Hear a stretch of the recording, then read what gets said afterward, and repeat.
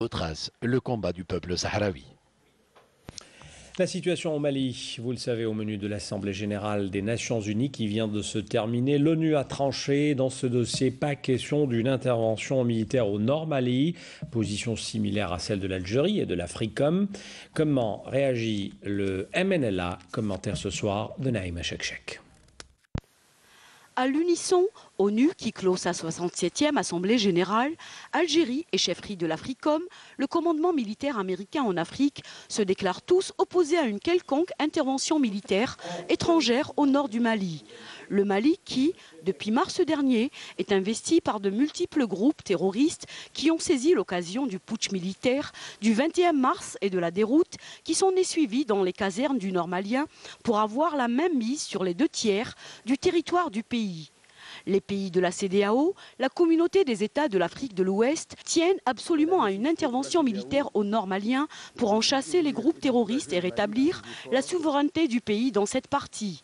Une position que défend bec et ongle le Premier ministre malien Modibo Diarra, qui verra depuis deux jours et pour la troisième fois la requête pour cette intervention, tant espérée, encore refusée par l'instance onusienne.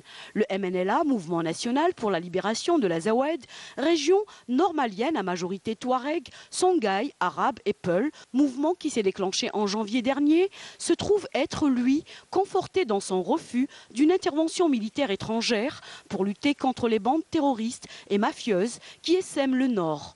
Dans le sillage de ces revendications, le MNLA dit se donner comme priorité le combat contre ces groupes terroristes, dont l'ACMI et le Mujao. Il demande ainsi avec insistance à qui veut l'entendre, à être aidé dans sa volonté de combattre ces groupes terroristes.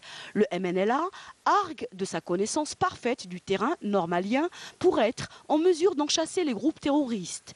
L'Algérie, qui a fait cette semaine à l'échelle onusienne entendre sa voix constante pour une solution pacifique et diplomatique de la crise malienne, n'écarte pas une écoute notamment du MNLA pour une issue concertée sur la voie des nombreux défis qui attendent le Mali mais aussi tous les pays du Sahel en proie au sous-développement et aux nombreuses crises humanitaires.